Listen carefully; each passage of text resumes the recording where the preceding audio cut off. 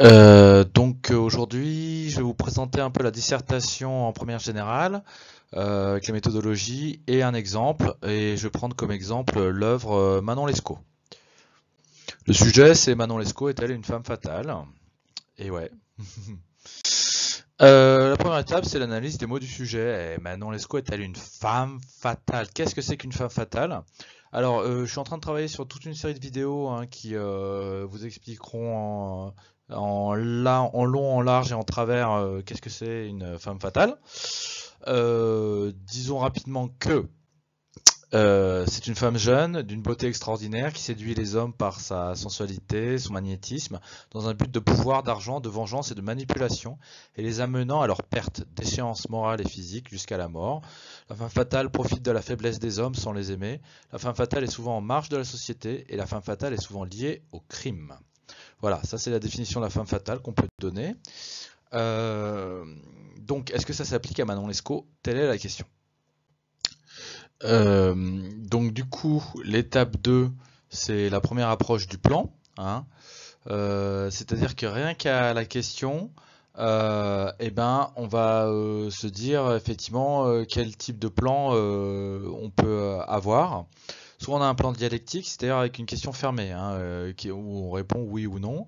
Par exemple, effectivement, euh, Manon Lescaut est-elle une femme fatale hein, Et dans ce cas-là, il faut délibérer, il faut poser le pour et le contre. Hein. Est-ce que oui, c'est une femme fatale? Est-ce que non, c'est pas une femme fatale? Euh, Donc effectivement, vous allez avoir un plan de type thèse, antithèse et synthèse si vous pouvez. voilà, c'est le plan oui, oui mais non mais pas trop. Et troisième partie, synthèse, dépassement du sujet. Euh, l'autre type de plan euh, qui est possible, c'est le plan thématique, hein, avec une question ouverte, hein, euh, où en fait on peut pas répondre par oui ou par non, il faut apporter des informations. Par exemple, en quoi Manon Lescaut est-elle une femme fatale? Et là, dans ce cas-là, il faut démontrer. Dans le premier cas, il fallait délibérer, peser le pour ou le contre. dans le deuxième cas, on vous impose un point de vue que vous devez défendre et développer. Euh, avec euh, une première partie euh, pour la première thématique, Manon Lescaut est une femme fatale parce que, deuxième partie, Manon Lescaut est une femme fatale parce que aussi aspect numéro 2, et troisième partie, par exemple, voilà, Manon Lescaut est une femme fatale parce que tatati tatata. Voilà, donc c'est les, deux types de plans hein, que vous pouvez avoir pour la disserte, dialectique ou thématique. Ici, euh, de manière évidente, on a un plan dialectique. Euh, Manon Lescaut est-elle une femme fatale? Il va falloir thèse, antithèse, synthèse. Ensuite, euh, on a l'étape numéro 3 qui est le remue-ménage. Vous creusez la tête hein, pour savoir un petit peu, bah vous écrivez toutes les idées, les arguments, les exemples, les citations qui vous viennent à l'esprit sur le sujet donné. Euh, faut passer du temps dessus. Hein. Faut vraiment, euh, faut, que votre dissertation soit riche. Donc effectivement, faut qu'il y ait le maximum d'informations. Passer du temps à vous creuser la tête sur tous les éléments que vous pouvez apporter autour de la question. Ensuite, on a euh, l'étape 4 qui est euh, bah, la mise en place d'un plan détaillé.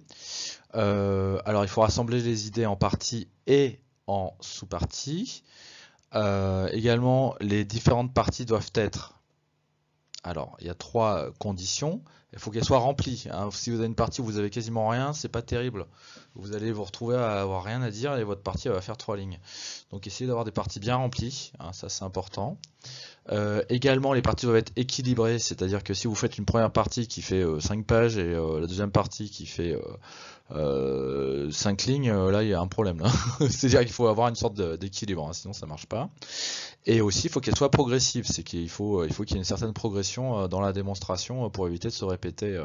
voilà, il faut qu'il y ait une sorte d'acheminement, de chemin logique. Voilà.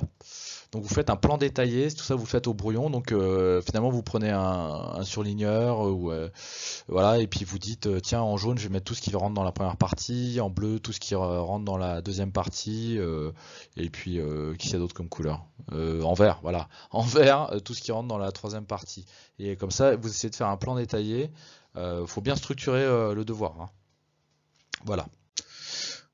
Ensuite, c'est la rédaction. Euh, là, vous avez fini le travail de brouillon et euh, c'est parti. Euh, vous faites la rédaction, vous êtes sur la copie, vous faites l'introduction, contextualisation et éventuellement définition des mots du sujet, la problématique, c'est-à-dire le, sujet, hein. vous reprenez le sujet pour la problématique, et l'annonce de plan. Ça, ça nous fait une introduction. On a le développement, c'est un paragraphe par sous-partie, vous commencez par tout d'abord, ensuite finalement, vous annoncez l'idée principale de chaque sous-partie d'abord, puis les exemples, puis l'analyse des exemples. Vous faites une transition rapide collée au dernier paragraphe de la partie pour le développement. Et vous sautez des lignes hein, entre chaque partie de manière à ce que le correcteur sache exactement où on en est. Euh, est-ce qu'on en est euh, à la première partie, à la deuxième partie? Est-ce qu'on en est à la première euh, sous-partie de la deuxième partie? Est-ce qu'on en est à la deuxième sous-partie de la première partie, etc. etc. on me demande souvent combien de sous-parties par grande partie. Bah, les sous-parties, vous en mettez deux ou trois. Hein. Si vous en avez 4 ou 5, c'est un peu trop. Si vous avez qu'une seule sous-partie, c'est trop peu. Voilà, donc 2 ou 3 sous-parties par grande partie. Voilà. Et au final, vous arrivez à la conclusion. Résumé, rapide de ce que l'on a dit et la réponse à la problématique. Hein. Euh, voilà comment on fait une conclusion. Vous commencez par en conclusion, évidemment, hein, pour bien montrer que c'est la conclusion. Vous sautez des lignes euh, entre la fin du développement et la conclusion, histoire qu'on sache bien que la conclusion commence. Vous faites une ouverture éventuelle sur une autre œuvre, sur un autre texte, etc. Et vous justifiez cette ouverture. Hein. Euh, vous, la détaillez un petit peu. Hein. Vous ne dites pas juste euh, Ah tiens, ça me rappelle, euh, tac, et vous mettez le nom d'un roman, et puis après vous partez. quoi. C'est ça, vous voyez, il faut quand même justifier un minimum son ouverture. On n'est pas obligé de la faire d'ailleurs, hein, mais bon, c'est la cerise sur le gâteau. Et ben voilà, il n'y a plus qu'à se relire et à rendre la copie. Et c'est voilà, c'est terminé avec le travail de la rédaction, avec ce travail final où vous traquez euh, euh, les, dernières fautes d'orthographe, euh, vous vérifiez que si jamais vous avez donné un petit coup de typex, vous avez attendu que ça sèche, et puis vous avez oublié de, marquer le mot manquant, voilà, vous, vérifiez un peu ça, voilà, hein, vous voyez si en plus les tournures de phrases sont à peu près correctes, vous relisez bien et vous pouvez rendre la copie et c'est terminé pour la méthodologie de la dissertation.